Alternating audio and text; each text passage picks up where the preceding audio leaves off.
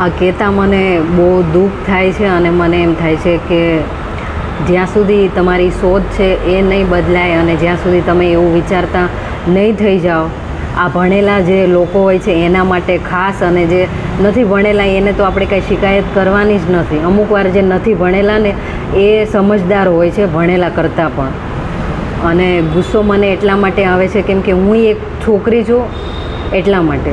અને આ જે ઘટના દાહોદમાં બની છે, છ વર્ષની છોકરી ઉપર એના જે આચાર્ય અને જે ટીચરની ત્યાં કામગીરી કરી રહ્યા છે, એમણે રેપ કર્યો અને જેનું નામ ગોવિંદ છે.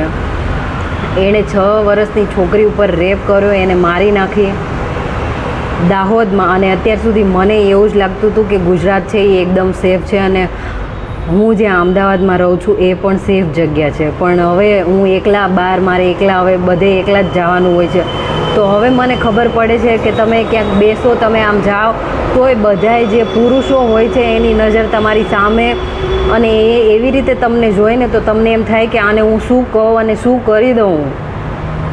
તો આ બધી સોચનો ફરક છે. એમાં વાંક સ્ત્રીનો નથી, કેમ કે સોચ તમારી ઘટ્યા છે. જે પુરુષો જે આવા હોય છે ને એનો. કેમ કે આ જે છ વર્ષની છોકરી છે ને એ એના તો અંગો છે, એ પરિપક્વ નથી અને એ પરિપક્વ નથી, તો એની ઉપર બળાત્કાર થયો છે. એટલે સોચ